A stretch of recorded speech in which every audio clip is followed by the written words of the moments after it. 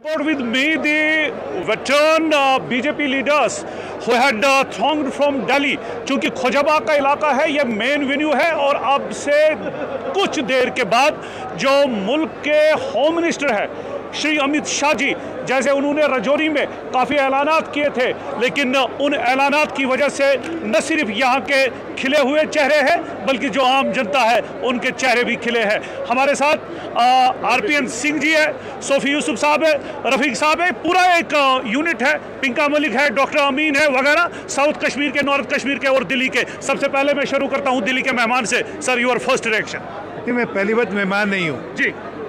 उन्नीस सौ बानवे से मैं यहीं काम करता हूँ। बहुत ही खूब। तो मेहमान वो होते हैं जो काम ना करता हूँ। तो तीस साल हो गए यहीं काम करते। उन्नीस सौ बानवे से 2022 का कश्मीर बदल गया। राइट सर बानवे में पत्थरबाजी होती थी। 2000 आज से तीन साल पहले तक पत्थरबाजी होती थी। बिल्कुल। आज उन्हीं के हाथ में लैपटॉप की बात हो रही है। ये कश्मीर बदल रहा है। ये जो आज यहाँ पर रैली हो रही है जो आवाम यहाँ पर दिख रहा है वो बता रहा है कि मोदी जी की और अमित शाह जी की जो पॉलिसीज़ हैं उस पर मोहर लगाने के लिए यहाँ पे लोग आए हैं। जो लगातार निरंतर कश्मीर के अंदर डेवलपमेंट का मॉडल मोदी जी का और अमित शाह जी का है उस पर आज यहाँ पे लोग मोहर लगाने आए सर हैं। दिल से बताइएगा आप चूँकि इसी धरती के हैं जैसे आपने बखूबी कहा एक डिमांड जो आप चाहते हैं कि अमित शाह जी आपके लिए वो बात करें। नहीं वो सिर्फ़ इतनी चिंता करें कि सिक्योरिटी ऑपरेटर्स और अच्छा कर दें। जी। बहुत अच्छा हो गया है।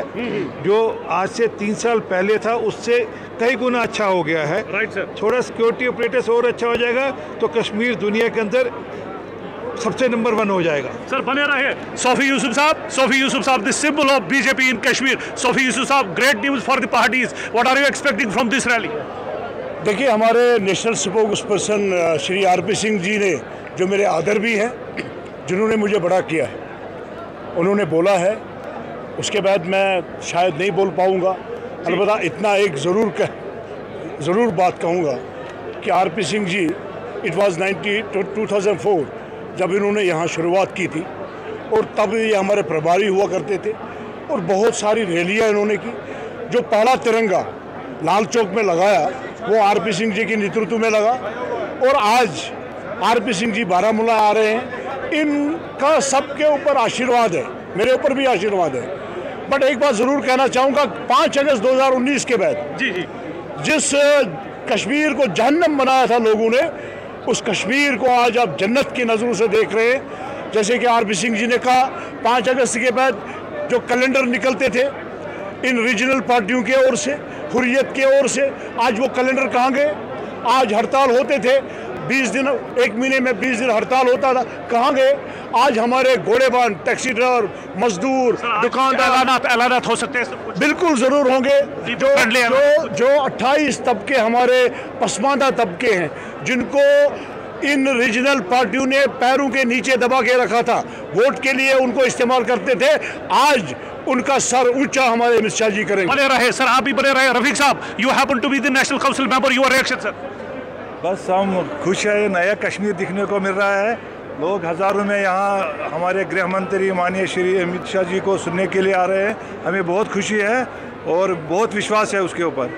बहुत ही खूब। R P RPN ji sir how can you wind up now how can you wind up since home minister is approaching कैसे आप दिल से बताइएगा? ऐसा लग रहा है कि जी ये देखिए इतनी जुबिलेशन है। जी जी बिल्कुल बिल्कुल। सर यूर लास्ट कमेंट देखिए कश्मीर कश्मीर नया करवट ले रहा है।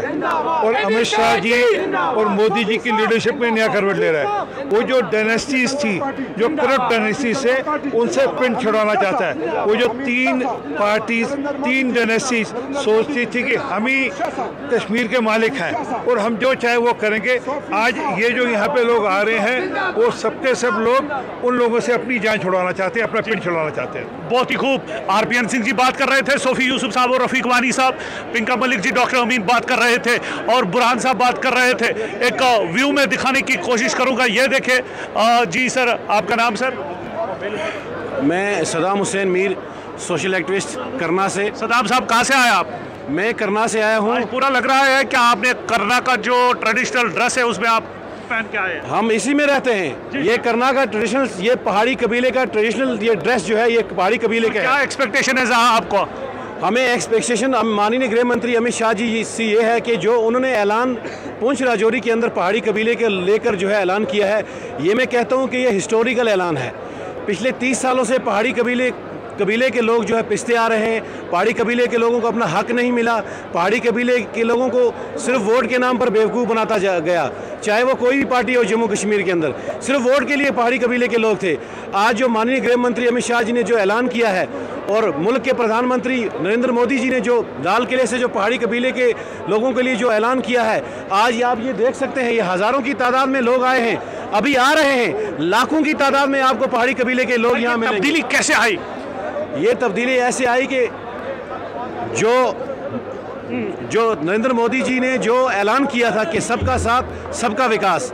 अब ये पूरा होता जम्मू कश्मीर के अंदर नज़र आ रहा है, क्योंकि पहाड़ी कबीले के लोगों को जो हक देने का ऐलान किया था, वो अब पूरा होता हुआ नज़र आ रहा है। जी जी। फ़िलहाल मैं चंद एक तस्वीर दिखाने की कोशिश करूँगा। रफीक साहब, आप ही बने रहे यहाँ पे। जी, ये देखें डोल नगाड़े के बीच इस वक्त यहाँ पे।